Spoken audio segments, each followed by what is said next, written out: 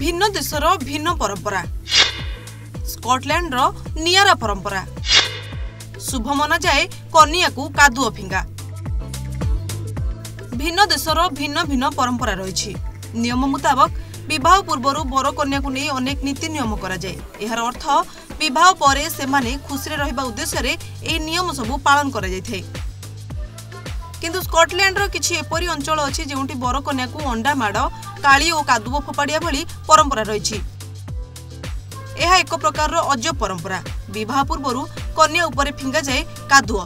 ଭିନ୍ନ ଜାଗାରେ ଭିନ୍ନ ପରମ୍ପରା ପାଳନ କରାଯାଏ। ଲୋକମାନେ ବିବାହକୁ ନେଇ ଅନେକ ନୂଆ ନୂଆ ଢଙ୍ଗ ଆପଣାଉଛନ୍ତି। ବିବାହ ସହିତ ଜଡ଼ିତ ଅନେକ ବିଚିତ୍ର ପରମ୍ପରା ସମଗ୍ର ବିଶ୍ୱରେ ଦେଖାଯାଏ। କିନ୍ତୁ ସ୍କଟଲ୍ୟାଣ୍ଡରେ ଏହି ପରମ୍ପରା ଯାହା ସମସ୍ତଙ୍କୁ ଟିକେ ଆଶ୍ଚର୍ଯ୍ୟ କରୁଛି। ସ୍କଟଲ୍ୟାଣ୍ଡର କିଛି ଗାଁ ଅଛି ଯେଉଁଠାରେ ବିବାହ ପୂର୍ବରୁ କନ୍ୟା ଉପରେ କାଦୁଅ ଫୋପାଡ଼ା ଯାଇଥାଏ। ଏହି ପରମ୍ପରା ସ୍କଟଲ୍ୟାଣ୍ଡର ଉତ୍ତର ପଶ୍ଚିମ ଅଞ୍ଚଳର ଅନେକ ଗ୍ରାମରେ ଦେଖାଯାଏ। ପରମ୍ପରା ଅନୁଯାୟୀ ବିବାହ ସମୟରେ ବର ଏବଂ କନ୍ୟା ଉପରକୁ କାଳି ଫିଙ୍ଗା ଯାଇଥାଏ।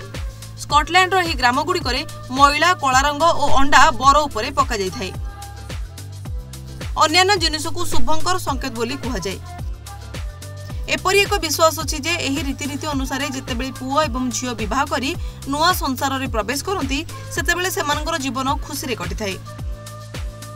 ଏହି ରୀତି ଅନ୍ୟ ଏକ ବାର୍ତ୍ତା ମଧ୍ୟ ଦେଇଥାଏ ବିବାହ ଗୋଲାପ ପରି ସୁନ୍ଦର ନୁହେଁ ଏଥିରେ ଅନେକ ଅସୁବିଧା ମଧ୍ୟ ଅଛି ଏବଂ ଉଭୟଙ୍କୁ ଏକାଠି ରହି ଏହି ସମସ୍ୟାର ସାମ୍ନା କରିବାକୁ ପଡ଼ିବ।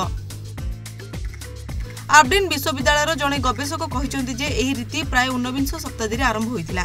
ସେତେବେଳେ ବିବାହ ସମୟରେ ମହିଳାଙ୍କ ପାଦ ସଫା କରିବା ପାଇଁ ଚୁଲିର ପାଉଁଶ ବ୍ୟବହାର କରାଯାଉଥିଲା ପରେ ଏହା ବିଂଶ ଶତାବ୍ଦୀ ପର୍ଯ୍ୟାୟରେ ଏକ ନୂଆ ରୀତିରେ ପରିଣତ ହୋଇଥିଲା ଯେଉଁଥିରେ ଉଭୟ ବର ଏବଂ କନ୍ୟା ଉପରେ ମଇଳା ଜିନିଷ ଫିଙ୍ଗାଯାଏ bureau report Rising Odisha